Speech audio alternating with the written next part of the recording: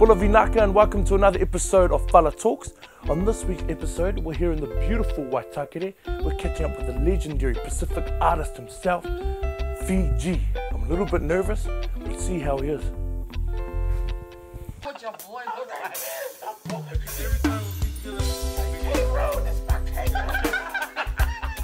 And it's Fiji, thank you very much for being on the Fala with us today. Thank you very it's a pleasure to have you. You've got a legend in the house No. or outside. um, I just want to read something to you quickly before we start. Uh, and I found this online. This is about you. This is what it says. It says, Fiji is one of the biggest Polynesian artists of our time. His golden voice and musical blends have launched him on the world stage as a pioneer of the Pacific Island sound. A fusion of classic reggae, hip hop, R&B, and jazz set Fiji apart as a performer. When you hear that, Yeah. what's going through your mind? That's what they said. They. I don't feel all that. I feel a responsibility um, to represent the Pacific, not just as a Fijian, but as an indigenous islander, and, to sing from the depths of my soul instead of just, you know, another lovey-dovey song. Mm. I really want to address issues of about uh, indigenous people, their rights, and their culture and language, and that's that's pretty much going to be my mission, you know, to the end of my life. But um, I appreciate all the accolades. Hold that thought. So when you do hear those things, or maybe something might come up and you read it, is it just kind of brush off and you're like, that's not what I'm doing it for? There's a bigger Yeah. purpose? I can't feed off of that. You know Mm. what I'm saying? Um, that's for somebody who wants to become rich in music. Right. You know, they want to be famous and rich and get out there and do unbelievable videos. I'm not a video guy. Never put out a video in over 20 years. Wow. Um, I'm, I don't feel I have to convince uh, someone. If you don't get the message, then the vision won't make up for it. You know what I mean? So I, I, I don't want to. I don't want to manipulate you into understanding the truth of who we are. I want to be able to express what it is that that I am and I feel as as a Kanaka to stand and and sing, you know, from my soul and express myself and do my best to heal a lot of the dysfunction that I came from. And so where does your love for music come from? Broken family. Wow. Yeah, I'm a child of a broken family. So that's how it happened. And was music just something you went to uh, to vent, or was it a healing thing for you? Both, yeah. First, I wanted to yell. and I wanted to scream. Then I decided to just sing. One extreme to the other, and you chose to sing. Yeah, because it brings peace and harmony, understanding, all the great fruits that can help to heal. And so when you when you're on stage, even now, are you singing from a place where, you know, you were in a broken family, and even now at this age, do At you still this feel age- like you're that place? At this age, it's more about me trying to repair the history that pretty much almost repeated itself over and over with me and my children. And that's where I am at now is how to heal from that, how to heal yourself to heal from that type of a situation, you know. Um, but I'm grateful um, to music uh, for the life that it has given me um, through the fans, through the support. And, and that's why I continue to, to sing and write and, and help uh, the younger generation.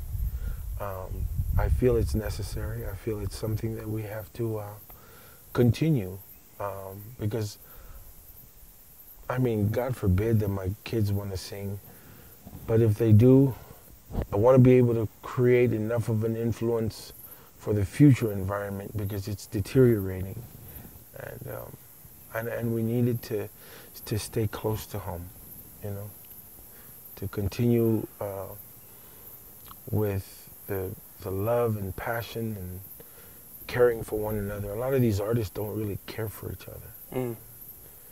and um, it saddens my heart. I try to stay as open as I can be to, especially the young generation. You know, we, we kind of have to whip down some of that discipline that came from our kupuna. Mm.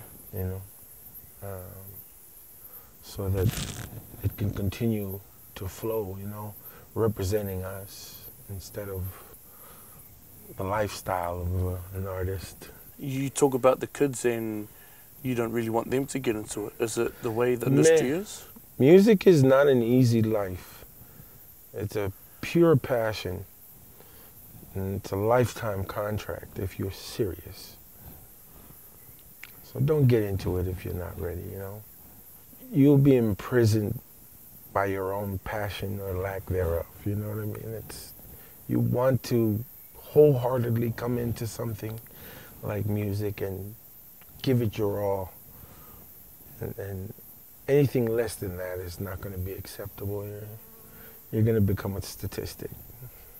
So does that does it agitate you to see where music's gone at the moment? People are all about the money or the things that you get from it. I think I've, I've been around it enough to know that a lot of artists go that way, and, Yeah. and, I, and I, I understand it. It's good, you know. You should provide a better life for your family if you if you can. I encourage it very much. Um, for me, it's um, because our genre of music has not reached that peak yet. It's a constant, you know, commitment and reevaluation on, on trying to make sure that um, that we get there, but we get there representing who we are instead of selling out as a product. Um, and, going back to your family now, bef- before you, your family was quite musical. Yeah, my uncle was uh, he's a he's a legend. Mm.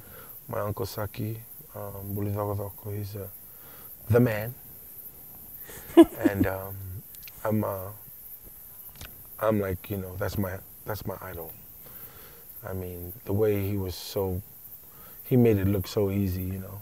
Um, And was it that uncle that worked on Elvis Presley's Drum of the Islands? That's my grand uncle. Yeah, Right. it's uh, Israeli Aradule. He um, he wrote the uh, English version for uh, actually i interpreted it in English for Yeah. Elvis to sing.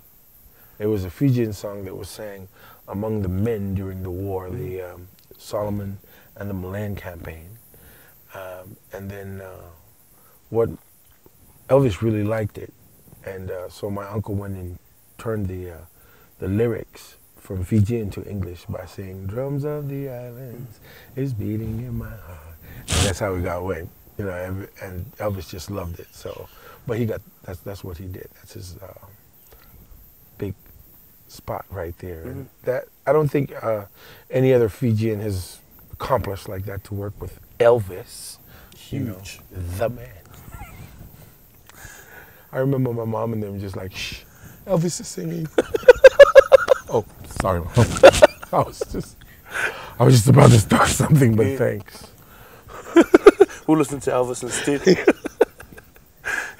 I'm like, he he be singing. I remember when he did uh when he did uh there's a sweet, sweet spirit. So I used to go and imitate, you know, Elvis, so I could try to impress my mom. Mom, mom sweet, mom, listen, mom.